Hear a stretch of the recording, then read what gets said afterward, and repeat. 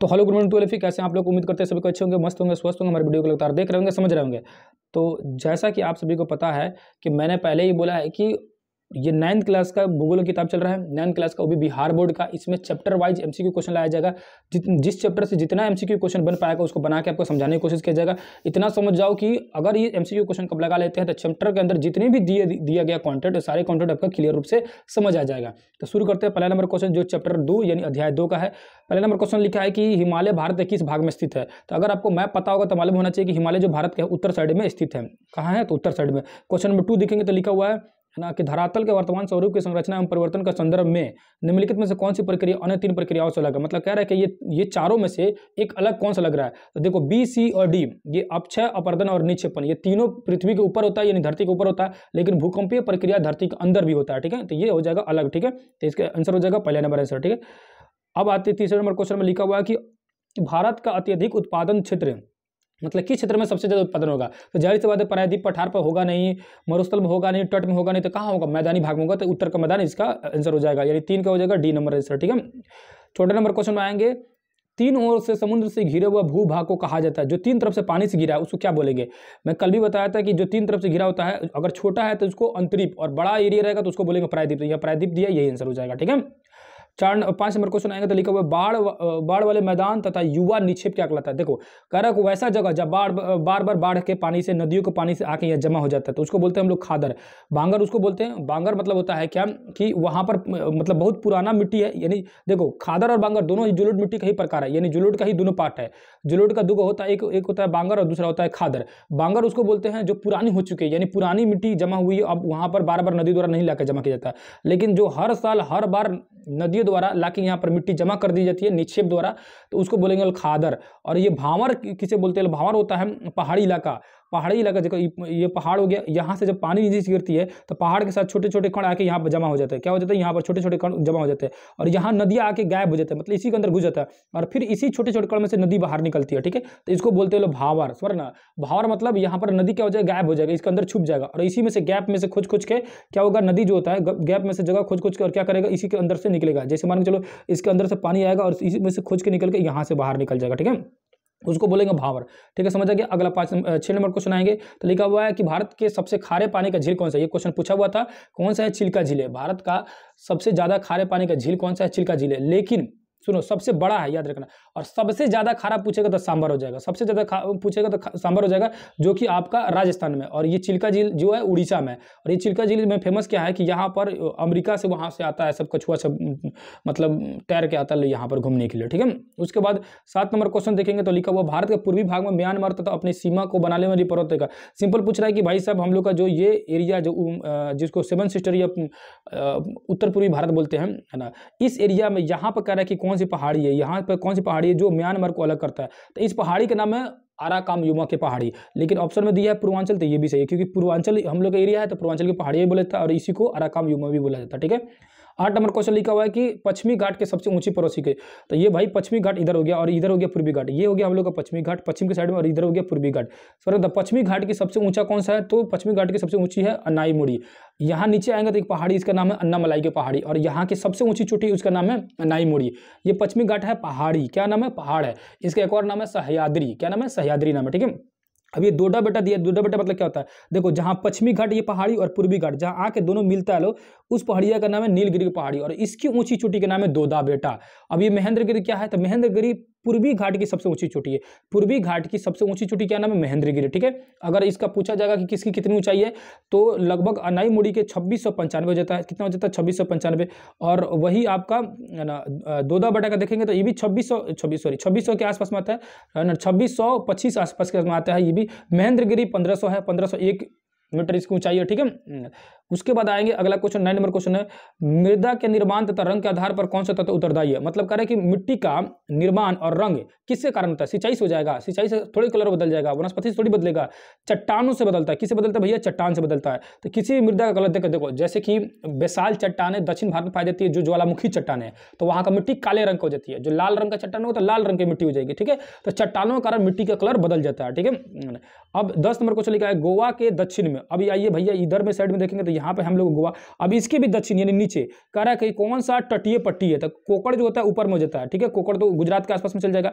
उत्तरी सरकार तो यहाँ उड़ीसा के आसपास में जाएगा। कोरोमंडल तो तमिलनाडु में है तो कौन सा जगह मालाबार तट हो जाएगा, जो यहाँ पर आ जाएगा। कौन सा जगह मालाबार तट हो जाएगा, जो केरल के पास में तटीय मैदान है, ठीक है? वहीं पर सबसे पहले बारिश भी आता है। क्वेश्चन पूछता है कि मानसून की सबसे पहले कहाँ पर आती है? किस तट पर आती है? तो मलाबार तट, जो कि केरल में है, ठीक है? ग्यारह नंबर क्वेश्चन लिखा है, प्रायद्वीपीय भारत की मिट्टी मिट्टी किस प्रकार की होगी? तो अभी मैंने बोला प्रायद्वीपीय भारत में है दक्कन की ये बेसाल चट्टान है जो काले रंग की होती है। मिट्टी भी काले रंग की हो जाएगी सिंपल सी बात है। बारह नंबर क्वेश्चन लिखा हुआ है, प्राचीन भारत, प्राचीन समय में हिमालय का स्थान कौन सा सागर अवस्थित था? तो कह रहा कि जो हिमालय है, वहाँ पर कौन सा पहले सागर था? तो कौन सा सागर था? तैतीस सागर था। ध्यान रहो कि ये बीच में ये हो गया हमारी धरती। और सब, सबसे पहले देखेंगे तो सबसे पहले एक ही द्वीप था, उसका नाम था पेंजिया। और इसके आसपास जितने भी सागर थे, उसका नाम था पेंथलासा। बाद में ये टूट के ये दुग हो गया। क्या हो गया? बाद में टूट के क्या हो गया? दो भाग में बढ़ गया। दो भाग में बढ़ा तो उसका नाम पड़ गया। ये टूट के दो भाग में बढ़ गया, इसका नाम पड़ा अंगारा लैंड, नीचे का नाम पड़ा गोडवाना लैंड। बीच में जो सागर है, उसका नाम था तैतीस सागर। और यही तैतीस सागर बाद में क्या बन गया? हिमालय पर्वत का निवारण हुआ। कैसे हुआ? दोनों आपस में टकरा के हिमालय पर्वत बना लिया, ठीक है? तेरह नंबर क्वेश्चन लिखा है, पूर्वी घाट की सबसे ऊँची चोटी। अभी मैंने बताया पूर्वी घाट की, ये महेंद्रगिरी है, जो लगभग पंद्रह सौ एक, पंद्रह सौ एक मीटर की ऊंचाई है, ठीक है? उसके बाद आएँगे तो चौदह नंबर क्वेश्चन जो लिखा हुआ है, देख सकते हैं। निम्नलिखित में से कौन सा वक्तव्य मतलब कौन सा वाक्य जो है पलट विवर्तनिकी के लिए सत्य है मतलब सही खोजना है। तो कौन सा सही है भैया? दूसरा नंबर आएँगे, पहला नंबर देखेंगे तो भू परपटी विभिन्न कठोर और कोमल चट्टानों से बना हुआ है। बी नंबर देखेंगे पृथ्वी की भू परपटी सात मुख्य और अन्य गौन चट्टान से देखो, सात नहीं, छह से बना हुआ है। पृथ्वी के ऊपर भू परपटी जो है, छह चट्टानों से बनी हुई और नौ छोटे हैं। मतलब छोटे नौ को है और बड़े जो प्लेट है, वो छह है, ठीक है? एक एक करके सारे प्लेटों को देख के समझ सकते हैं कि कौन कौन बड़े प्लेट है और कौन कौन छोटे प्लेट है। अगर बड़े प्लेट में देखा जाएगा तो ऑस्ट्रेलियाई प्लेट, उसी को भारतीय प्लेट भी कहा जाता है। उसके बाद अफ्रीकी प्लेट, अमरीकी प्लेट, यूरेशियाई प्लेट, प्रशांत प्लेट और अंटार्कटिका प्लेट। ये छह प्लेट बड़े हैं और नौ जो है, Arabian, Philippines, Juan, Fuca, Cocos, Nazca Scotia Caribbean, Somalia, है ना? ये आप अगर चाहिएगा तो उसका डिटेल समझ सकते हैं कि ये लंबा हो जाएगा, है ना? जिसको नहीं पता होगा वो समझ ही नहीं आ रहा कि मैं क्या बोल रहा हूँ। छः बड़े प्लेट है और नौ छोटे प्लेट है, बस इतने याद रखो, ठीक है? विश्व की सबसे ऊँची चोटी कौन सी है? पंद्रह नंबर क्वेश्चन विश्व की सबसे ऊँची चोटी कौन सी होती है? भैया माउंट एवरेस्ट सबको पता है, जो नेपाल में, जिसे सागर माथा नेपाल में बोला जाता है, ठीक है? इसकी ऊंचाई आठ हज़ार आठ सौ अड़तालीस मीटर, ठीक है? सोलह नंबर क्वेश्चन देखेंगे तो कौन सा विश्व की सबसे ऊँची चोटी कौन सी वही बात हो गया अरे, विश्व की सबसे ऊँची चोटी कौन सी है? विश्व पंद्रह नंबर और सोलह नंबर, दोनों क्वेश्चन एक ही दोनों एक ही हो गया विश्व की वही होगा माउंट एवरेस्ट ही हो जाएगा, ठीक है? सत्रह नंबर क्वेश्चन माउंट एवरेस्ट किस देश में है? तो अभी मैंने बोला, नेपाल में, इसको सागर माथा भी बोलते हैं माउंट एवरेस्ट को, ठीक है? अठारह नंबर क्वेश्चन, निम्नलिखित में से किस चट्टान का प्रयोग ताजमहल में किया जाता है? तो किसका किया जाता है भाई? व्हाइट कलर का तो मार्बल है। क्या है? मार्बल है, ठीक है? उसके बाद से मंसूरी किस राज्य में था मसूरी भैया, ये उत्तराखंड में। कहाँ हो जाएगा? मसूरी उत्तराखंड में जगह ठीक है? बीस नंबर क्वेश्चन आएँगे तो भारत की सबसे ऊँची चोटी। देखो, लिखा हुआ है भारत की तो भारत की है के टू और भारत में तो कंचनजंगा ध्यान सुने क्यों क्योंकि यहाँ पर है के टू कहाँ है? के टू यहाँ पर है, ठीक है? ना? तो के टू यहाँ पर है, जिसको गार्डविन स्टीन बोला जाता है के टू यहाँ पर है। तो ये जो एरिया है ना, पाकिस्तान फ़िलहाल में कब्जा कर रखा लेकिन किसी न किसी दिन तो हम तो ले लेंगे लोग। इसको बोलते हैं पी ओ के पाक ऑक्यूपाइड कश्मीरी सर ना? तो ये ये जो था ना, पहले सबसे ऊँची थी, क्योंकि ये लगभग आठ हज़ार, है ना?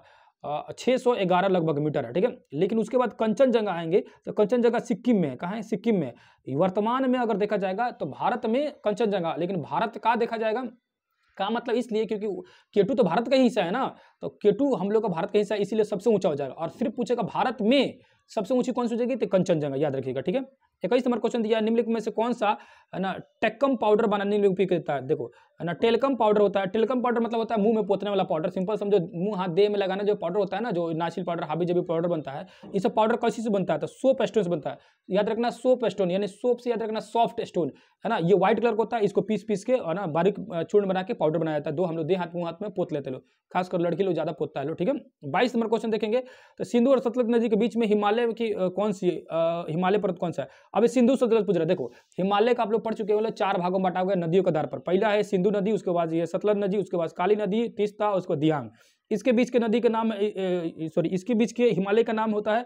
इसके हिमालय का नाम बोलते हैं लोग हम लोग, इसको बोलते हैं लोग पंजाब हिमालय। क्या बोलते हैं पंजाब हिमालय या कश्मीर हिमालय? और इसके इसके बीच में, किसके किसके बीच में? देखो, सिंधु सतलज, इसके बाद काली तिस्ता उसके बाद से दिहांग ठीक है?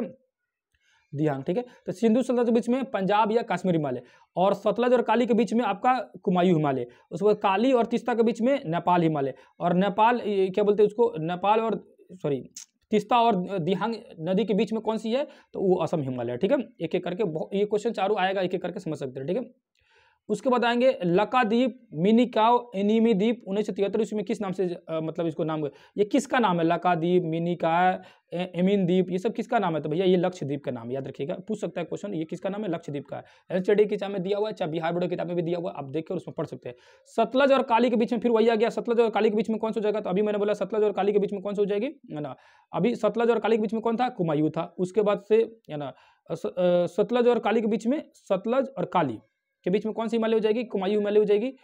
उसके बाद से उस काली और तिस्ता के बीच में कौन सी हिमालय हो जाएगी? काली और तिस्ता के बीच में कौन सी हिमालय हो जाएगी? तो कौन सी हिमालय हो जाएगा? ये इसमें हो जाएगा हम लोग का कुमायूं अभी मैंने बोला। जैसे कि मान चलो नेपाली हिमालय किसको हो जाएगा? तो काली और तिस्ता के बीच में हो जाएगा। पंजाब हिमालय की दर था? ऊपर में होता सिंधु और सतलज असम हिमालय, वो तिस्ता और दिहांग के बीच में था। ठीक है? अगला क्वेश्चन आते हैं, पच्चीस नंबर क्वेश्चन देखते हैं। जब प्लेट एक दूसरे के समानांतर चलती है तो निम्न में से किस प्लेट सीमा का निर्माण होता है? अब देखो, ये तीनों अपसारी अभिसारी या ट्रांस प्लेट, इस तीनों को मतलब समझिए। देखो अपसारी मतलब होता है अप होगा, यानी ऊपर भागेगा मतलब इधर उधर भागेगा, ठीक है? इधर उधर बढ़ता जब प्लेट एक दूसरे के विपरीत उल्टा भागेगा उल्टा भागेगा तो उसको बोलेंगे अपसारी और अभिसारी तब बोलेंगे जब दोनों एक ही तरफ़ आएगा। क्या होगा? अभिसारी मतलब अभिसारी दोनों एक ही तरफ़ में आएगा तो उसको अभिसारी और ट्रांस किसको बोला जाएगा? ट्रांसफॉर्म बोला जाएगा। जब एगो इधर भागे और एगो ऊपर भागे एगो नीचे एगो ऊपर। मतलब हमने ऐसे रगड़ के भाग रहा है, रगड़ के भाग रहा है तो ट्रांस ठीक है? रगड़ के भाग रहा है तो ट्रांस ठीक है? अप सारी मतलब अप हो जा रहा है, दूर भाग जा रहा है। अभी सारी मतलब अभी नज़दीक आएगा, ठीक है? तो ये कह रहा है कि समानांतर चलती है। तो समानांतर रगड़ के एक दूसरे के समानांतर जाती है, कौन सा हो जाएगा? ट्रांसफॉर्म प्लेट हो जाएगा। कौन सा हो जाएगा? ट्रांसफॉर्म प्लेट हो जाएगा, ठीक है? छब्बीस नंबर क्वेश्चन आएगा काली और तीस्ता फिर वही क्वेश्चन आएँगे काली तो, काली और तीस्ता के बीच में कौन सा जगह भैया? काली और तीस्ता के बीच में नेपाल हो जाएगा। लूनी नदी कहाँ बहती है? तो लूनी नदी जो होता है ये राजस्थान में बहती है थार मरुस्थल में बहती है। और इसमें क्या विशेषता है कि भाई सब ये अरावली से निकलती है और कच्छ के रन में जाकर विलीन हो जाती है। ऐसा नदी जो जो जमीने में खत्म हो जाता है मतलब ये जाकर अरब सागर में विलीन गिरता है अरावली से निकलेगी और कच्छ के रण में जाके विलीन हो जाएगी जो गुजरात में कच्छ के रण है ठीक है? याद रखिएगा लूनी नदी कहाँ है? थार मरुस्थल में जो राजस्थान में है। निम्नलिखित में से कौन सा गुडवाना भूभाग का स्थल है? तो भाई गुडवाना समूह कौन सा भाग हो जाएगा? तो गुडवाना समूह जो है, ये दक्षिण अफ्रीका में है। वही उसी दक्षिण अफ्रीका का तो हम लोग का भी प्रायद्वीपीय भारत का भाग है। यानी कि सिंपल समझो, गुडवाना का भाग जो है, ये प्रायद्वीपीय भारत है। ये कहाँ से आया हम लोग को उड़ के मतलब कहाँ से आया? तो ये आया था अफ्रीका से। अफ्रीका से धीरे धीरे धीरे धीरे समुद्र से होते होते हम लोग पहुँच गए, भारत में आके यहाँ पर बन गया ठीक है? तो हमारा प्रायद्वीपीय भारत भी गुडवाना का ही भाग है और दक्षिण अफ्रीका भी वहीं का भाग है, ठीक है? तीस नंबर क्वेश्चन लिखा हुआ है, माजुली नदी द्वारा, ये माजुली नदी द्वीप सिंपल समझो, माजुली नदी द्वीप जो है, ये कहाँ बना हुआ है? तो ये बना हुआ ब्रह्मपुत्र नदी पर। देखो, भारत में जब ब्रह्मपुत्र नदी इंटर करती है अरुणाचल प्रदेश से तो इसका नाम हो जाता है दिहांग, और आगे आने के बाद असम में इसका नाम हो जाता है ब्रह्मपुत्र। यहाँ पर एक द्वीप बनाता है, द्वीप कैसे बनाता है? नदी इधर घूम जाती है और इधर घूम जाती है, बीच का ज़मीन जो होता है, एरिया बढ़ जाता है, इसको बोलते हैं नदी द्वीप, ठीक है? तो इसका नाम है माजुली नदी द्वीप। क्या नाम है? माजुली नदी। जो दुनिया की सबसे बड़ी है, याद रखना, नदी द्वारा बनाया गया अगर कोई द्वीप सबसे बड़ा है तो माजुली नदी द्वीप जो दुनिया के सबसे बढ़िया ठीक है? इकतीस नंबर क्वेश्चन आएँगे तो लिखा हुआ दक्षिण भारत की सबसे ऊँची चोटी। तो अभी मैंने, हमने पढ़ा कि दक्षिण भारत की सबसे ऊँची चोटी जो हो जाएगी, अनाईमुड़ी है। अनाईमुड़ी जो अन्नामलाई के पहाड़ी पर है। दोदा बेटा अभी बोला है कि इधर से पश्चिमी घाट और इधर से पूर्वी घाट, दोनों आके जहाँ मिलता है, उसके उस पहाड़ का नाम है नीलगिरी और इसकी ऊँची चोटी का नाम है दोदा बेटा, ठीक है? महेंद्रगिरी किसकी है? तो पश्चिमी पूर्वी घाट की सबसे ऊँची चोटी महेंद्रगिरी है, ठीक है? ऊपर सबकी देख चुके हैं लोग। बत्तीस नंबर क्वेश्चन आइएगा भारत का एकमात्र सक्रिय ज्वालामुखी। तो सकीरी ज्वालामुखी सबसे पहले समझिए कि अंडमान निकोबार में और उसका नाम पूछेगा तो क्या हो जाएगा? बैरम। क्या नाम हो जाएगा? बैरम। ठीक है? बैरम और नारकोडम दो ज्वालामुखी है, कहाँ पे? अंडमान निकोबार में। बैरम जो है, सकीरी है मतलब सकीरी मतलब होता है उसमें से लावा निकलते रहता है, मैग्मा निकलते रहता है, ठीक है? निम्न में से भारत का प्राचीनतम स्थल। सबसे पुराना कौन हो जाएगा? तो भाई प्रायद्वीपीय पठार, क्योंकि गोडवाना लंग का समूह है तो कौन सा पुराना हो जाएगा? प्रायद्वीपीय पठार हो जाएगा। लेकिन सबसे पुराना पूछेगा पहाड़ जगह कौन सा सबसे पुराना अगर पूछेगा, पर्वत कौन सा होगा? तो आरावली पर्वत हो जाएगा। सबसे पुराना अगर पर्वत पूछेगा तो आरावली पर्वत। सबसे नया तो हिमालय, याद रखिएगा, ठीक है? चौतीस नंबर क्वेश्चन देखेंगे। प्लेट विवर्तनी के सिद्धांत में पृथ्वी की ऊपरी परपटी कौन सी है ना कितनी बनी हुई या कि, कितना है? सिंपल समझो कि प्लेट विवर्तनी की अभी मैंने बताया कि कितनी भूपरटी बनी हुई है तो छह बड़ी प्लेट बनाए कितना बड़ा है? छह बड़ा प्लेट बना हुआ है। कितनी बड़ी हुई है? छह प्लेट। यहाँ सात बड़ी प्लेट लिखा हुआ है। सात नहीं होगा छह ही होगा। छह बड़ी एस की किताब में बिहार बोर्ड की किताब सॉरी बिहार बोर्ड की किताब में देखिएगा तो छह बड़े प्लेट है और नौ छोटे प्लेट का दिया गया है। ठीक है? स्पष्ट रूप से लिखा गया है। छह बड़े प्लेट को मैंने बता चुका है। अगर आप ध्यान से नहीं सुने होंगे तो फिर से दोबारा सुन सकते हैं। ठीक है? पैंतीस नंबर क्वेश्चन आएँगे तो निम्नलिखित में से कौन सी नदियाँ द्वारा विलुप्त हो जाती है? ना? निम्नलिखित हिमालय से निकलने वाली नदी है, जहाँ जाकर विलुप्त हो जाती है। अभी मैंने बोला, पहाड़ से नदी निकलता है और आके यहाँ पर खत्म हो जाता है। क्यों? क्योंकि यहाँ पर एक पत्थर जमा हो जाता है और इसी पत्थर के अंदर आके खो जाता है और फिर वापस निकलता है। इस जगह को बोलते हैं भावर। क्या बोलते हैं? भावर, ठीक है? छत्तीस नंबर क्वेश्चन बोलेंगे, पृथ्वी की प्लेट के अंदर और ऊपरी स्थित महाद्वीपीय सैलों के दबाव से निम्न दबाव किस कारण उत्पन्न होता है?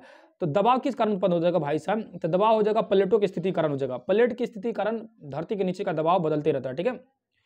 सैंतीस नंबर क्वेश्चन निम्न में से कौन सा विश्व का सर्वाधिक ज्वालामुखी तथा भूकंप प्रभावित क्षेत्र है? वो क्षेत्र होगा जो प्लेट के किनारे होगा। जैसे मान के चलो कि ये वाला प्लेट यहाँ आके खत्म हुआ, और दूसरा यहाँ से शुरू हुआ, ठीक है? तो ये जो बीच वाला जो क्षेत्र होगा ना, बीच वाला क्षेत्र, यहाँ पर सबसे ज़्यादा प्रभावित होगा ये एरिया क्योंकि बार बार वहाँ भूकंप आते रहेगा। अड़तीस नंबर क्वेश्चन कह रहा है, महाद्वीपीय शैलों में दबाव उत्पन्न होने के क्या परिणाम है?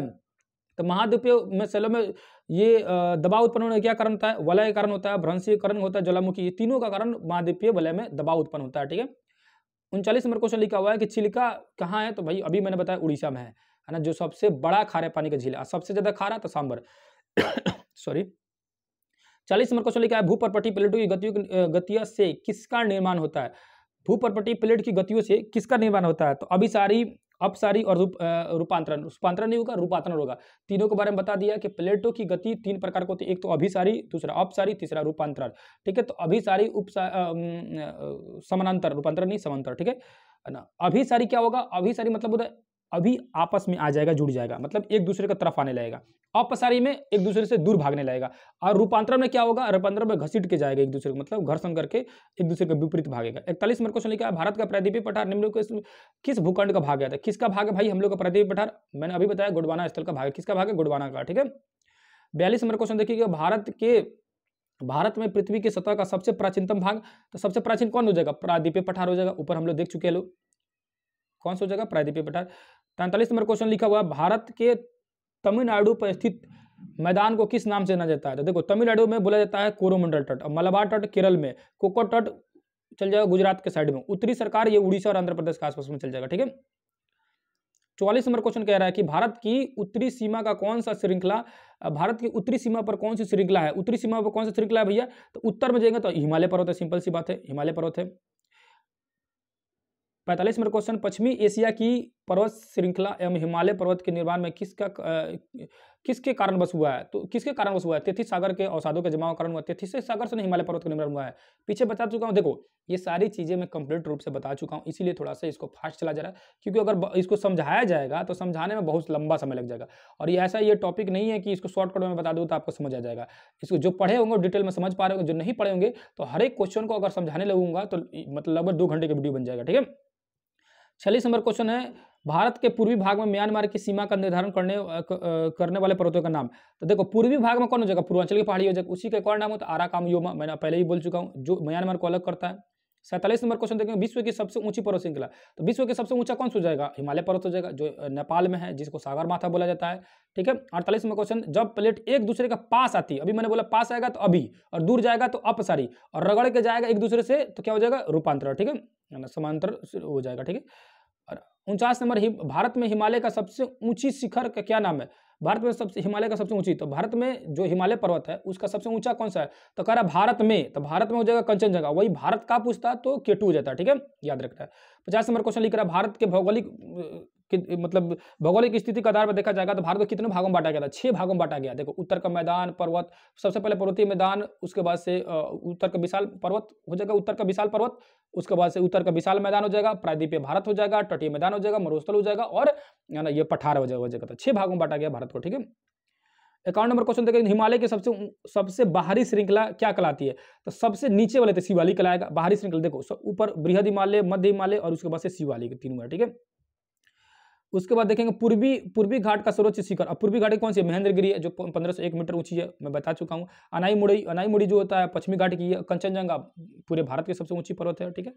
तिरपन नंबर क्वेश्चन दे रहा है, हिमालय के सबसे उत्तरी तथा ऊँची श्रृंखला कौन सी हिमालय के सबसे उत्तर में। तो सबसे उत्तर में जाएँगे तो हिमाद्री है, जिसको बृहद हिमालय भी कहा जाता है, ठीक है? चौवन नंबर क्वेश्चन, गोडवाना लैंड और अंगारा लैंड किस महादेश के भाग था? तो पहले किसका था भैया? पंजिया का था। पेंजिया बोले थे कि पूरे भारत में एक ही था। पेंजिया उसी से टूट के अंगारा लैंड और गोडवाना लैंड बना, ठीक है? जो गोडवाना लैंड का हम लोग का प्रायद्वीपीय भारत का भाग है। पचपन नंबर क्वेश्चन निम्नलिखित में से निम्नलिखित में से किस किसका निर्माण संपीड़न तब परिवर्तन के सेलों से होता है? तो भाई संपीड़न और संपीड़ित परिवर्तन के सेलों से होता है किसका निर्माण हुआ है? हिमाचलीय भाग का हुआ है यानी कि जो हिमाचल का जो, पठार है हिमालय का पठार जो है ना उसका संपीड़न और परिवर्तन के सेलों से निर्माण हुआ है ठीक है? भारत की एकमात्र सक्रिय ज्वालामुखी कौन सी हो? जाएगा बैरन ज्वालामुखी है जो कहाँ है? अंडमान निकोबार द्वीप समूह में ठीक है? संतावन नंबर क्वेश्चन लिखा हुआ है सत, सतलज और काली नदी के बीच में। अब ये सतलज, वही बात है ये हो गया सतलज और काली। सतलज और काली के बीच में है कुमायूं, उसके बाद से यहाँ से नेपाल, उसके बाद से यहाँ से असम हिमालय, और पहले था पंजाब या कश्मीर हिमालय, ठीक है? आप सभी को पता है पहले से। ऊपर इसी क्वेश्चन को ऊपर कई बार बता चुके हैं, इसीलिए थोड़ा सा फास्ट चल रहा है। अंठावन नंबर क्वेश्चन है, हिमालय पर्वत के संदर्भ में निम्नलिखित कौन सा तथ्य अन्य तीनों से भिन्न है? तो तीनों से अलग कौन सा है? भैया, हिमाद्री बृहद हिमालय को बोलते हैं। लघु हिमालय बीच वाले को बोलते हैं, शिवालिक सबसे नीचे। छोटा नागुर पठार तो हिमालय ही नहीं था, यही हो जाएगा तीनों से भिन्न, ठीक है? पूर्वांचल की पहाड़ियाँ कहाँ है? पूर्वांचल की पहाड़ियाँ नागा, मिजो, पटगोई, है ना? ये सभी पूर्वांचल की पहाड़ियाँ है। नागा, नागालैंड में मिजो, मिजोरम में होता है, और पटगोई उधरी हो जाता है, ठीक है? तो सब ये क्या है? पूर्वांचल की पहाड़ियाँ ही है। साठ नंबर क्वेश्चन है, प्राचीनतम विशाल महाद्वीप को किस नाम से जाना जाता है? तो विशाल महाद्वीप को जो सबसे पुराना है, उसका नाम था पेंजिया। बाद में टूट के अंगारालैंड और गोडवानालैंड अंगारालैंड ऊपर था, गोडवानालैंड नीचे था, ठीक है? और पेंथलासा था, महासागर था, ठीक है? इकसठ नंबर क्वेश्चन आएँगे तो उत्तरी मैदान का निर्माण किस नदी द्वारा हुआ तो तीनों नदी द्वारा, उत्तर का मैदान सिंधु, ब्रह्मपुत्र और और गंगा द्वारा। देखो, सिंधु, उसके बाद ये गंगा, इधर से ब्रह्मपुत्र था। ये तीनों द्वारा जो मिट्टी का निर्माण हुआ, उसी को हम लोग बोलते हैं तटीय मैदान सॉरी उत्तर का विशाल मैदान, ठीक है? बासठ नंबर क्वेश्चन लिखा है, निम्न में से कौन सा भारत के न्यूनतम भू भू स्थल है। तो हिमालय, सबसे नया कौन सा हिमालय पर्वत हिमालय पर्वत के द्वारा ही ये क्या बना उत्तर का विशाल मैदान बना था दोनों नया एकदम। तिरसठ नंबर क्वेश्चन लिखा है, भारत में कौन सा स्थान तीन सागरों से मिलकर बना हुआ है? तो कौन सा हो जाएगा? कन्याकुमारी। क्यों कन्याकुमारी? तो भैया ये सबसे नीचे वाला भाग है, तमिलनाडु का जो भाग है, इसका नाम है कन्याकुमारी। इसको कुमारी अंतरी भी बोला जाता है दो तीन तरफ़ से पानी से गिरा अरब सागर, बंगाली खाड़ी और इधर नीचे हिंद महासागर। चौसठ नंबर क्वेश्चन लिखा है, उत्तरी मैदान में किस तरह की मिट्टी पाई जाती है? तो उत्तर में मैदान में किसी जलोढ़ मिट्टी पाई जाएगा? क्योंकि नदी द्वारा बनता है, नदी द्वारा भी बोलेगी जलोढ़ मिट्टी उसमें जलोढ़ मिट्टी दो प्रकार के कौन कौन एक होता है खादर, दूसरा एक खादर, दूसरा है ना, बांगर। खादर नया रहेगा, बांगर पुराना रहेगा, सिंपल अंतर, ठीक है? बलुई मिट्टी, रेगिस्तानी इलाका में काली मिट्टी काली मिट्टी कहाँ पाया जाएगा? आपका प्रायद्वीपीय भारत में जहाँ बेसाल्ट की चट्टाने पाई जाएगी, वहीं पर पाया जाएगा, ठीक है? चौसठ, पैंसठ में क्वेश्चन आएगा तो हिमालय हिमाचल, हिमालय निम्न में से किसके लिए प्रसिद्ध है? तो पर्वतों के लिए प्रसिद्ध है। पर्वतों के लिए फ़ेमस है कौन? हिमाचल वाला, ठीक है? क्योंकि वहाँ पर बारिश होगा नहीं मैदानी भाग है नहीं तो किस लिए फ़ेमस होगा? पर्वतों के लिए फ़ेमस होगा, ठीक है? छसठ नंबर क्वेश्चन है, प्रवाल भीति से बना एक द्वीप। तो प्रवाल भीति से कौन से बना है? लक्ष्य द्वीप बना प्रवाल भीति एक जीव होता है, लो, जो जो बाद में मरने के बाद कठोर हार्ड हो जाता है और ये द्वीप का निर्माण कर देता है ठीक है? लक्ष्य द्वीप को बना हुआ सड़सठ नंबर क्वेश्चन लिखा है, झारखंड झारखंड इनमें से किस पठार में स्थित है? तो झारखंड जो है, किस पठार में है? तो छोटा नागपुर पठार में। झारखंड कहा है? छोटा नागपुर। ये कारगिल एक लोक पठार जो लिखा है, ये मेघालय का है। कहाँ का? मेघालय का। मालवा पठार तो आपका ये, क्या बोलते हैं उसको? मध्य प्रदेश का दक्कन पठार दक्षिण भारत को जाएगा, ठीक है? आज अड़सठ नंबर क्वेश्चन लिखा है, दो नदियों के बीच में बने भूभाग तो दो नदियों के, देखो, एक नदी इधर से गया, एक नदी इधर से गया, बीच में ज़मीन को बोलेंगे दो आब, दो नदियों के बीच में दो आब बोलते हैं, ठीक है? पूर्वांचल पहाड़ियों के संदर्भ में निम्नलिखित से कौन सा कथ्य अन्य तत्वों से अलग है? तो पूर्वांचल के पहाड़ी बोल रहा है, पटगोई, वहीं का अभी पढ़े लो, है ना? मिजो और मणिपुर, उधर ही को जाएगा मिजोरम और मणिपुर की पहाड़ी, नागा पहाड़ी, नागालैंड को जगह। लेकिन ये जो महादेव पहाड़ी है, ये सतपुड़ा का भाग है, सतपुड़ा का भाग। इसका भाग है, सतपुड़ा का भाग है महादेव पहाड़िया तो सतपुड़ा ज़ाहिर से बात है, कहाँ है? सतपुड़ा मध्य भारत में बीचों बीच में, जो मध्य भारत में कहाँ है? यहाँ ये विधांचल है, उसके नीचे सतपुड़ा है, जहाँ से नर्मदा और नीचे से ताप्ती नदी निकलती है। उसी के बीच में, नर्मदा और ताप्ती के बीच में है ये सतपुड़ा पहाड़ और उसी सतपुड़ा पहाड़ का ही भाग है। महादेव पहाड़ी। तो कह रहा है कि पूर्वांचल पहाड़ी से अलग कौन है? तो ये महादेव की पहाड़ी क्योंकि भैया पूर्वांचल पहाड़ी उत्तर पूर्वी भारत में है मतलब सेवन सिस्टर के पास में है, और ये महादेव पहाड़ी हम लोग बीच के मध्य भारत में है, ठीक है? हिमालय पर्वत की सबसे ऊँची श्रृंखला कौन सी है? तो सबसे ऊँची एवरेस्ट हो जाएगा, कंचनजंगा तो भारत में हो जाएगा, और काराकोरम तो उधर ट्रांस हिमालय साइड में हो जाएगा, ठीक है? हिमालय की सर्वाधिक ऊँची श्रृंखला कौन सी है? फिर वही आ गया हिमालय की सर्वोच्च कौन सी हो जाएगा? एवरेस्ट हो जाएगा। आप सभी को पहले से पता है, ठीक है? ना? इकहत्तर नंबर क्वेश्चन आएँगे। क्वेश्चन तो बहुत ज़्यादा है भाई, दो नंबर चैप्टर में, क्योंकि चैप्टर भी बड़ा था कंटेंट भी ज़्यादा था। वही मैं बोल रहा था कि जिस चैप्टर में जितना ज़्यादा कंटेंट होगा, उसके हिसाब से चैप्टर भी उतना ही बड़ा होगा, ठीक है? तो एक स्थलीय भाग जो तीन ओर से घिरा हुआ है, पानी से तो क्या बोलते हैं उसको? प्रायद्वीप और छोटा रहेगा तो उसी को अंतरीप ये बोलेंगे, ठीक है? बहत्तर नंबर क्वेश्चन लिखा है, भारत में हिमालय की सर्वाधिक ऊँची श्रृंखला का नाम क्या है? अथवा भारत का सबसे ऊँचा पर्वत श्रृंखला कौन सा है? तो भारत में सबसे ऊँचा कौन हो जाएगा? तो भारत में हो जाएगा कंचनजंगा और भारत का के टू याद रखना, ठीक है? ये हो गया चैप्टर टू कंप्लीट। देखो, चैप्टर टू में सेवेंटी टू क्वेश्चन थे, बहुत ज़्यादा क्वेश्चन थे। और यहाँ तक जो बच्चे अगर पढ़ लिए, पढ़ लेंगे तो समझ जाए चैप्टर टू उनको कंप्लीट से याद हो जाएगा। कुछ भी नहीं छूटा है। समझ जाओ कि जितने अब एम क्वेश्चन कराया जा रहा है, आप इस क्वेश्चन को अगर ध्यान से देख लीजिएगा तो समझे पूरी तरह से कंप्लीट, आपको तैयारी हो जाएगा, कुछ दिक्कत नहीं होगा। तो आशा करता हूँ कि आप वीडियो पूरा देखे होंगे, और उम्मीद करता हूँ कि सारे कंटेंट आपको बढ़िया लगे होंगे। फिर दूसरे किसी क्लास में मिलेंगे, उसमें तीसरे अध्याय के साथ आएँगे एम क्वेश्चन के साथ। तो यहीं पर वीडियो को क्लोज करते हैं। तो फिर दूसरी किसी क्लास में लेंगे, तब तक के लिए धन्यवाद, नमस्कार असल जय हिंद, जय भारत।